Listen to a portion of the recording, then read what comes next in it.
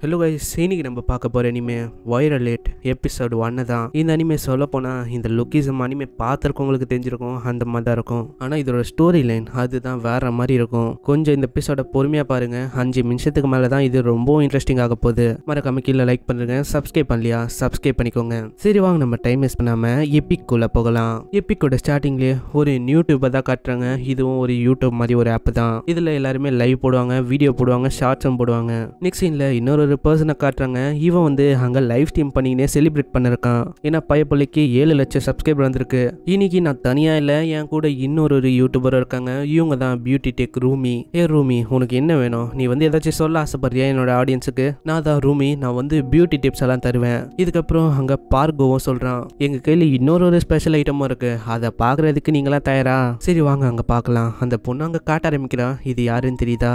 இதுதான் நான் மேக்கப்பால் உருவாக்குன ஒரு அற்புதமான கிரியேஷன் அங்கே ஆளு பார்த்தா கோமாளி மாதிரி இருக்கான். ஆனால் இவன் கோமாளி கிடையாது. ஏன்னா இவன் தான் நம்ம ஹீரோவே அங்கே அந்த பையனை யோசிக்க ஆரம்பிக்கிறான். என்னை வந்து இந்த அளவுக்கு கொடுமை பண்ண போறாங்கன்னா இதுக்கான பங்கையாச்சும் இவங்க தருவாங்கன்னு நினச்சேன். ஆனால் இதுக்கான பங்கு கூட இவங்க தரல.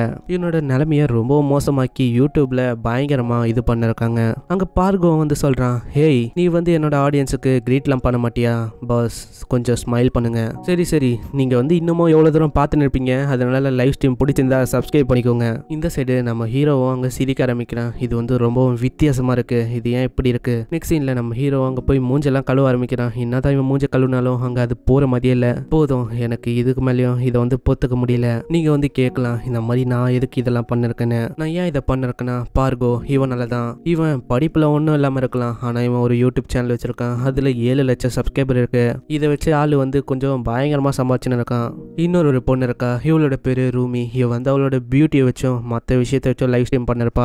எல்லாரு கையிலயும் ஒரு ஒரு விதமான டேலண்ட் இருக்குது ஆனால் என்கிட்ட எதுவுமே இல்லை. நான் ஒன்றும் பணக்காரனும் இல்லை. நான் ஸ்மார்ட்டாகவும் இல்லை. நான் வந்து வெறுமா நானாக தான் இருக்கேன். நெக்ஸ்ட் சீனில் அவனோட கிளாஸுக்கு அவன் வந்து இருக்கான். அங்கே திடீர்னு அவனை போட்டு பயங்கரமாக இன்னும் தாண்டிக்க ஆரம்பிக்கிறான். ஹேய் நீ வந்து வேணும்ட்டே தானே இதை பண்ணியிருக்க நான் உன்னை ஸ்மைல் பண்ண சொன்னேன். இப்போ தான் நம்மளுக்கே தெரியுது. இந்த மாதிரி இவன் இவன் வந்து பார்கோட கேமராமேனு அதுக்கும் மேலே இந்த கேங்ஸ்டர் கேங் இருக்கும்ல அடிதடி பண்ணுற கேங்கு அவங்களோட கேங்கில் இவனும் ஒரு பங்காக இருந்தவன் தான் இப்படி இவனும் ஹோபினை பயங்கரமாக தாக்கின்னு இருக்க. திடீர்னு ஹோபின் வந்து அங்கே முறைக்க ஆரம்பிக்கிறான். இதை பார்த்து ஆளு கொஞ்சம் பயந்துடுறான். இருந்தாலும் அவன் பயப்படாத மாதிரி அங்க ரியாக்ட் பண்ணிருக்கான். ஏய் பார்கோ நீ வந்து இவனோட முகத்தை பாத்தியா ஏதோ நானே ஒரு செகண்டுக்கு பயந்துட்டேன். ஆனா அதெல்லாம் சும்மா தான் இதை கேட்குற எல்லாருமே அங்க பயங்கரமா சிரிக்க ஆரம்பிக்கிறாங்க.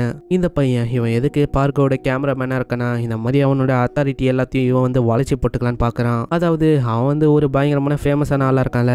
அதுக்கும் மேல அவனை யாராலையும் தொட முடியாது. இவன் வந்து அவன் கூட இருந்தா மத்தவங்க வந்து இவனை தொட மாட்டாங்களே. அதனால தான் இப்படி பண்ணிருக்கு ஆளு. இந்த சைடு அந்த ரூமி பொண்ணு சொல்றா அட எனக்கு வந்து நிறையவே காசு வந்திருக்குப்பா. அந்த ஸ்ட்ரீமிங்ல நான் முப்பதாயிரம் என்ன சம்பாதிச்சிருக்கேன். இதை கேட்குற ஹோபினோங்க ரொம்ப ஷாக் ஆயிடுறான். இவங்க வந்து சொல்ல போனா எதுவுமே பண்ணலையே. சும்மா ஏதோ ஒரு வீடியோ தான் எடுத்துருந்தாங்க அதுக்கு முப்பதாயிரம் என்ன அப்போனா நானும் ஒரு யூடியூப் சேனல் வந்து திறக்கிறது நல்லதா இருக்கும் போல. இப்படி ஒன்றும் யோசனை இருக்கேன். அந்த கேமராமேனும் இதே விஷயத்தை தான் யோசிக்கிறான். இதனாலேயே அவனும் பார்கோ கிட்ட போய் கேட்குறான் இந்த மாதிரி யூடியூப் சேனலை ஓப்பன் பண்ணனா நம்மளுக்கு வந்து இன்னும் தேவைப்படும். அதுவா? எப்படியோ உனக்கு பதினெட்டு வயசு ஆயிருக்காது. அப்படின்னா நீ வந்து உங்க அம்மாவோட பேங்க் அக்கௌண்ட்டை தான் யூஸ் பண்ணும் ஆனா ஒரு விஷயம் அந்த கேமராமேன் பையன் வந்து ஆல்ரெடி அவங்க அம்மா அக்கௌண்ட்லேருந்து காசெல்லாம் எடுத்திருக்கானா? இதனால இப்போதைக்கு அவனால அந்த அக்கௌண்ட்டை தொட்டு கூட பார்க்க முடியாது. ஏன் பார்க்க கூட முடியாது? இதனால கேமராமேனுக்கும் அங்கே வேற வழி இல்லை. அங்கே ஹோபின் கிட்ட போய் கேட்குறான் ஹே ஹோபின் உங்க அம்மா வந்து இன்னமும் உயிரோட தானே இருக்காங்க? எனக்கு தெரிஞ்சு உங்க அம்மா வந்து உடம்பு சரியில்லாமல் இருக்காங்கன்னு நினைக்கிறேன். அப்போனா அவங்களோட பேங்க் அக்கௌண்ட்டை நான் கொஞ்சம் யூஸ் பண்ணிக்கலாமா? இது கேட்டு இருக்க ஹோபின் அவங்க அப்படியே பார்த்துன்னு இருக்கான். ஏய் நீ வந்து என்னடா கேட்டுன்னு இருக்க? நீ வந்து தப்பா கேட்டுட்டேன்னு நினைக்கிறேன். உங்க அம்மா வந்து இறந்துட்டாங்க தானே? அப்படி நீ கேட்டிருக்கணும். இதை கேட்குற அவனும் அங்கே இருக்க மற்றவங்களும் பயங்கரமாக சிரிக்க ஆரம்பிக்கிறாங்க. ஆனால் பாவம் நம்ம ஹோபினால் அங்கே எதுவும் பண்ண முடியல. என்னை மன்னிச்சிருங்க அம்மா. நான் வந்து இந்த மாதிரி டைம்லேயும் என்னால் எதுவும் பண்ண முடியல. நான் வந்து சண்டை போகணும்னு ஆசைப்பட்றேன். இருந்தாலும் என்னால் எதுவும் பண்ண முடியல. நெக்ஸ்ட் சீனில் ஹோபினோட அம்மாவை தான் காட்டுறாங்க. அவங்க பார்த்தா பெட்டில் பத்துன்னு இருக்காங்க. அங்கே ஹோபினும் வர ஹோபினை பார்த்து அவங்களும் சொல்கிறாங்க ஹோபின் இந்த ஹாஸ்பிட்டலில் நான் இருந்து ரொம்பவும் டயர்ட் ஆயிட்டேன். அதனால நான் ஹாஸ்பிட்டலை விட்டு வெளியில் போகணும்னு ஆசைப்பட்றேன். ஆனால் விஷயம் என்னன்னா ஹாஸ்பிட்டலை விட்டு அவங்க வெளியில் போனால் அவங்களோட உயிருக்கு ரொம்பவும் பாதிப்பு ஏற்படும். இதை புரிஞ்சுக்கின ஹோபின்னு சொல்கிறான் நீங்கள் வந்து கவலைப்படாதீங்க அம்மா. நான் வந்து எல்லாத்தையும் பார்த்து பார்த்துக்கிறேன் அங்கே ஹோபின் அப்படி சொல்ல இருக்கும்போது அவனோட முகத்துல நிறையவே காரெல்லாம் இருக்கா? இதை பார்த்து அவங்களும் கேட்குறாங்க ஹோபின் நீ என்ன யார் கூடயாச்சும் சண்டை போட்டா வந்த? என்னம்மா சொல்றீங்க? இந்த மாதிரி நான் எதுக்கு சண்டை போட போறேன்? நான்லாம் அப்படி பண்ண மாட்டேன். இதுக்கப்புறம் அவன் ஹாஸ்பிட்டல் பில் அங்கே கட்ட வரான். அந்த லேடியை சொல்லுது இந்த மாதிரி முப்பதாயிரம் என்ன நீ கட்டணும்? ஆனால் ஹோபின் கிட்ட பார்த்தா வெறும் அஞ்சாயிரம் என்ன தான் இருக்கு. ஹோபினுக்கு வந்து இந்த முப்பதாயிரம் என்ன அது வந்து கஷ்டப்பட்டு இவன் ஒரு வாரம் உழைச்சாதான் கிடைக்குமே. நான் என்னதான் முக்கி முக்கி வேலை செஞ்சாலும் எனக்கு ஒரு நாளைக்கு அஞ்சாயிரம் என்ன தான் கிடைக்கும். ஆனால் அவங்க வெறுமா ஒரு ஒன் ஹவர் பதினஞ்சு நிமிஷம் அந்த மாதிரி தான் லைவ்லாம் போடுறாங்க. அதுக்கு அவங்க முப்பதாயிரம் என்ன சம்பாதிக்கிறாங்க? இப்படி இவனும் யோசனை இருக்க அங்க இருக்க ஒரு அழகான பொண்ணு ஹோபினை பார்த்து கூப்பிடுறா. ஹேய் உனக்கு வந்து தெரியுமா? பீஃப் பேடி அது வந்து எங்க இருக்குன்னு? இந்த பொண்ணோட பேரு ஹோமி சோய் இதை வந்து நம்ம ஷார்ட்டா ஷோயின்னு கூப்பிடலாம். ஓ அதை பத்தி கேக்குறீங்களா? அது வந்து ஃப்ரிட்ஜ் கிட்ட தான் இருக்கு. ஆனா இது கேட்குற மற்ற பசங்களும் சொல்றாங்க உங்களுக்கு வந்து அது தேவைப்படுதா இந்த மாதிரி நாங்க வந்து எத்து கொடுக்குறோம் நாங்க வேணா ஹெல்ப் பண்ணட்டா? இல்ல இல்ல வேணாம் வேணாம். இப்படி இவ்வளவு சொல்லிருக்க சைட்ல பார்த்தா ஹோபி அங்கே சொல்றான். நான் வந்து இப்பதான் ஒரு செகண்டுக்கு முன்னாடி இந்த ரெஸ்டாரண்டோட ஐடல் கிட்ட பேசினேன். எனக்கு வந்து ரொம்ப சந்தோஷம் சந்தோஷமா இருக்கு. இப்படி இவனும் சந்தோஷமா இருக்க? திடீர்னு பார்த்தா அவனோட சந்தோஷம் ஒரே செகண்ட்ல காணாம போயிடுது. என்னடா ஆச்சு? அப்படின்னு பார்த்தா அங்க பார்கோ வந்திருக்கான். ஆள் அங்க லைவ் ஸ்ட்ரீம் பண்ணே வந்துன்னு இருக்கான். ஹே கைஸ் நான் வந்து இப்போ ஒரு ரெஸ்டாரண்ட்டுக்கு வந்திருக்கேன். நான் எதுக்கு இங்க வந்திருக்கேன் தெரியுமா? உங்களுக்கு வந்து இங்க இருக்க ஒரு தேவதையை காட்டணும்னு வந்திருக்கேன். இதை பார்த்தோன்னே ஹோபின் வந்து அங்க ஒழிஞ்சுக்கிறான் ஐயோ இவனா? அப்படின்னு. இந்த சைடு அங்க பார்கோவும் சொல்றான். நான் வந்து எதுக்கு இங்க வந்திருக்கேன்னா இந்த அழகான ஏஞ்சலை உங்களுக்கு காட்டணும்னு வந்திருக்கேன். இவங்க வந்து வெக்டோனல்ஸ்ல வேலை செஞ்சுட்டு இருக்காங்க. இவங்க சும்மா இல்ல. இவங்க தான் இப்போ சோசியல் மீடியால ஒரே ட்ரெண்டிங்கா இருக்காங்க. இதை கேட்குற ஹோபின் அங்க ரொம்ப ஷாக் ஆயிடுறான். அங்க பார்கோ வந்து சொல்றான் இந்த மாதிரி நான் சும்மா வரல என் கையில ஒரு நோட்டீஸ் இருக்கு.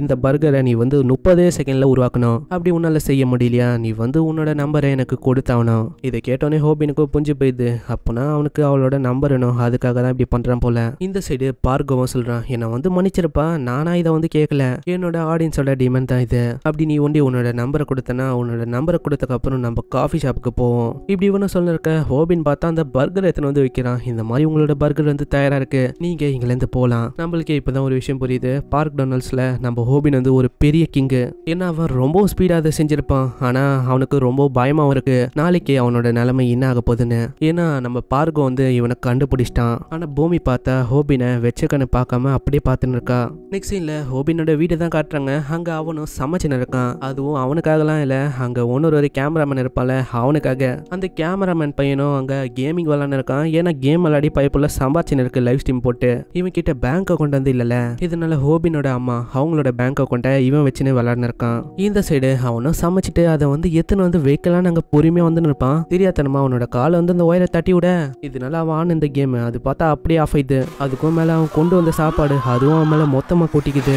அங்க ஜீவோவும் ரொம்பவும் கடுப்பாயிடுறான். இந்த மாதிரி எல்லாமே உன்னால தான் எனக்கு வந்து இந்த கேமிங்க்கு அப்புறம் எவ்வளோ கிடைக்கும் தெரியுமா? ஆனா எல்லாத்தையும் நீ வந்து கெடுத்துட்ட. இப்போ அந்த முப்பதாயிரம் என்ன? அது வந்து எனக்கு கிடைக்காது. எல்லாம் யாரால? எல்லாமே உன்னால தான்டா எல்லா காசும் மண்ணோட மண்ணா போயிடுச்சு. நீ வந்து எதுக்கு இங்க இருக்க? இப்படின்னு அங்க பயங்கரம் அடிச்சுன்னு இருக்கான். அங்க ஹோபினுக்கும் ஒன்றும் புரியல. நான் வந்து எதுக்கு என்னோட வீட்டில் நான் வந்து அடி வாங்கின்னு இருக்கேன்? இப்படி ஒன்று அடி வாங்கின்னு இருக்கேன் அங்கே ஜோஹோவும் சொல்கிறான் இவன் நம்ம ஜோனு கூட்டுக்கலாம். அது ஷார்ட்டாக இருக்கும். ஹேய் இந்த மாதிரி எல்லாமே உன்னால தான் உன்னோட அம்மாவுக்கும் கேன்சர் வந்தது. அதுக்கும் காரணம் நீயா தான்டா இருப்ப. இதை கேட்ட நம்ம ஹீரோ வந்து அவனோட கண்ட்ரோல் எழுந்துடுறான் அவன் அங்கே இருக்க சாப்பாடெல்லாம் தூக்கி அவன் முகத்தில் அடிக்க ஆரம்பிக்கிறான். தூக்கி வச்சக்கப்புறம் அவனோட அவனோட மூஞ்சில ஒரு பயங்கரமான பஞ்சையும் விடுறான் அங்கே ஹோபின் வந்து உன்னோட வாழ்க்கையில முதல் முறையாக அங்கே பஞ்சஸ் எல்லாம் விட ஆரம்பிக்கிறான். இதை பார்த்த ஜோ அங்கே கடுப்பாயிட்டு அவனும் அங்க பயங்கரமாக அடிக்க ஆரம்பிக்கிறான். இதே மாதிரி இவங்களும் அங்கே சண்டை போட ஆரம்பிக்கிறாங்க.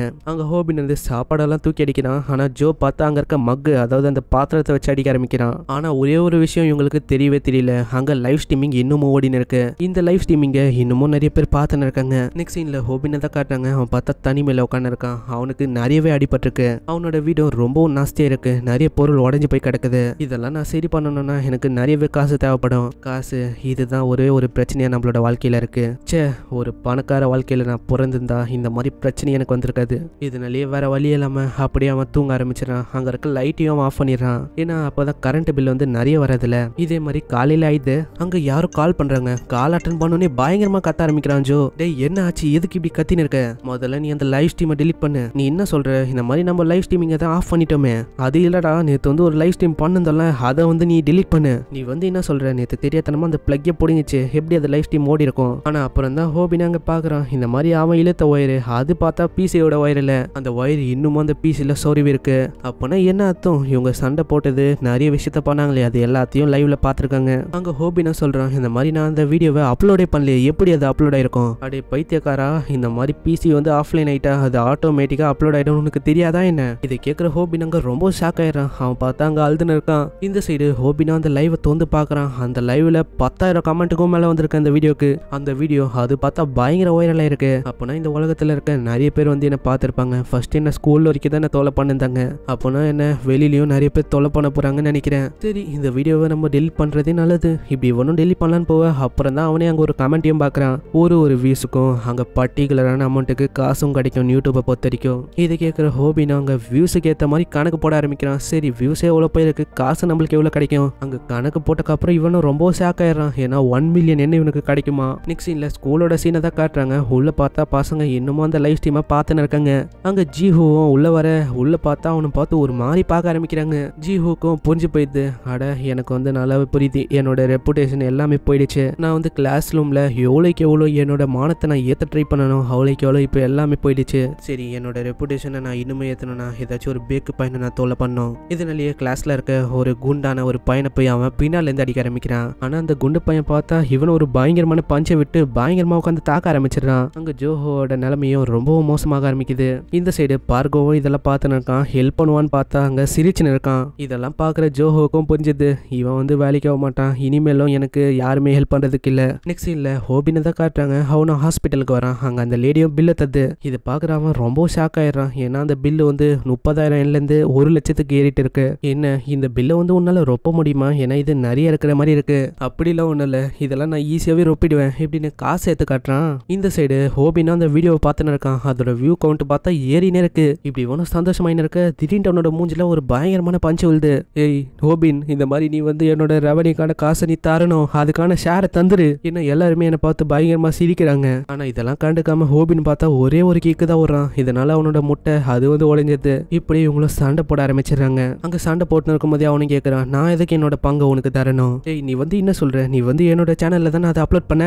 நீ சொல்றதும் வாஸ்தவம் தான். இருந்தாலும் அந்த அக்கௌண்ட் அது எங்க அம்மாவோட அக்கௌண்ட் இதுக்கப்புறம் அவங்களோட சண்டையும் அமைதியாவது இவங்களும் பார்க்ல உட்காந்துன்னு இருக்காங்க. ஜூவோ அங்க ரொம்ப வாழ்ந்துன்னு இருக்கான். நீ எவ்வளவு வேணா அழுதுக்கோ. இருந்தாலும் உன்னோட பங்கு அது வந்து கிடைக்காது பாத்துக்கோ. ஆனா ஜோவை பார்த்தா ஒரு வீடியோ காட்டுறான். அதுல இவங்களோட சண்டை போட்ட வீடியோ தான் இருக்கு. நீ வந்து என்ன என்ன நினைச்ச? எனக்கு சீக்கிரட்டா ஃபிலிம் எடுக்கிறதும் ரொம்பவும் பிடிக்கும் தெரியுமா? அப்போனா நீ என்ன இந்த வீடியோவை அப்லோட் பண்ண போறியாடா? ஏய் நீ என்ன பைத்தியமா என்ன? யாரு வந்து பார்த்த சண்டையை திரும்ப பார்ப்பாங்க? நான் எதுக்கு இங்க வந்தேன் தெரியுமா? இந்த மாதிரி உன் கூட கையை குழுக்கிறதுக்கு வந்தேன். நான் வந்து உனக்கு ஹெல்ப் பண்ணலான்னு வந்திருக்கேன். நம்ம ரெண்டு பேருமே சேர்ந்து காசு சம்பாதிக்கலாம். நான் ஆல்ரெடி பார்க்கோட ப்ரொடியூசராகவும் இருந்திருக்கேன். உனக்கு வந்து யூடியூப்ல இருந்து இதுதான் ஃபர்ஸ்ட் டைம் இந்த மாதிரி ரெவன்யூ கிடைக்குது. உனக்கு யூடியூப்ல நிறைய விஷயத்தை பத்தி தெரியாது. எஸ்இஓ டிஸ்கிரிப்ஷன் அது இதுன்னு. ஏன் வீடியோக்கு எஃபெக்ட்ஸ் எல்லாம் வேற போடணும். வீடியோக்கு பிளானிங்கு கண்டென்ட் ஐடியாஸ் இதெல்லாம் உன்னால தனியாக யோசிக்க முடியாது. பார்க்கோக்கு நான் தான் விஷுவல் எஃபெக்ட்ஸ் மற்ற விஷயத்தெல்லாமே நான் தான் பண்ணேன். அதனால உனக்கு நான் எல்லாத்தையும் பார்த்துக்கிறேன். நான் வந்து உன்னோட சேனலுக்கு ஒரு கேமராமேனை நான் பார்த்துக்கிறேன் எல்லாத்தையும். நீ வந்து வெறுமா கேமரா முன்னாடி வரணும் அவ்வளோதான் அங்கே இது கேட்குற ஹோபினுக்கும் அவ்வளோ சந்தோஷம். அவன் கண்ணு முன்னாடி நிறையவே காசு மலையா கொட்டுற மாதிரிலாம் எனக்கு தெரியுது.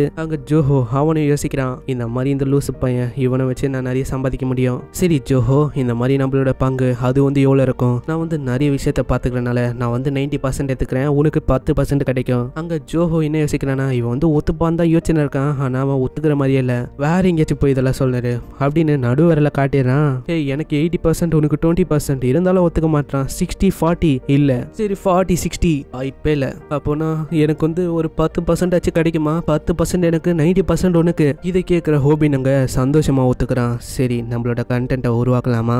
நம்மளோட கண்டென்ட் அது வந்து என்ன? நம்மளோட கண்டென்ட் என்னன்னா நம்ம ரியாலிட்டியில் ஃபைட் பண்ண போகிறோம் இதை கேட்குற ஹோபினா அங்கே ஷாக் ஆயிடுறான். இங்கே இந்த எபிசோட முடியுது. இந்த எபிசோட் வந்து உங்களுக்கு பிடிச்சிருக்கும்னு நினைக்கிறேன். ஸ்டோரி லைன் உங்களுக்கு புரிஞ்சிருக்கும். ஏன்னா இவங்க ரெண்டு பேருமே யூடியூபராக மாறணும்னு ஆசைப்படுறாங்க. அதுக்கும் மேலே இதுக்கு மேலே தான் இது ரொம்ப இன்ட்ரெஸ்டிங் ஆக போகுது. ஏன்னா யூடியூபர் ஆகுறேன்னு பேரில் நிறைய பேர் கையில் போய் இவங்க சண்டை போட போகிறாங்க அந்த சண்டையில் என்னென்ன ஆக போகுது? அதுக்கும் மேலே அந்த பொண்ணு அந்த ஐடல் பொண்ணு அதை வேற நம்ம உஷார் பண்ண போகிறான் இந்த அனிமேவை எதுக்கு எடுத்தேன்னா மாங்குவால சூப்பராக இருந்தது இதோட ஸ்டோரி லைனு அந்த ஒரே ஒரு காரணத்துக்காக தான் இதை வந்து நான் எடுத்தேன். ஸோ இந்த அனிமே வந்து உங்களுக்கு பிடிச்சிருக்கும்னு நினைக்கிறேன். பிடிச்சிருந்தா இந்த அனிமையோட ஃபர்ஸ்ட் எபிசோடு எப்படி இருந்துச்சுனோ இந்த அனிமையோட ஸ்டோரி லைன் எப்படி இருந்துச்சோ கீழே கமெண்ட் பண்ணுறேங்க மறக்காம சப்ஸ்கிரைப் பண்ணிக்கோங்க. மறக்காம அப்படியே லைக் பண்ணலையா? லைக் லைக் பண்ணிக்கோங்க. இவங்க இந்த வீடியோவை இங்கே முடிச்சனால நானும் இந்த வீடியோவை இங்கே முடிச்சுக்கிறேன். உங்களை நெக்ஸ்ட் எபிசோடில் சந்திக்கிறேன். அது வரைக்கும் சைனாரா